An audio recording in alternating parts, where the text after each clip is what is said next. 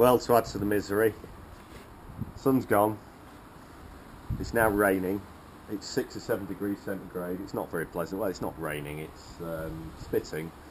So yeah, you've got to be pretty dedicated to start making cider in this kind of weather.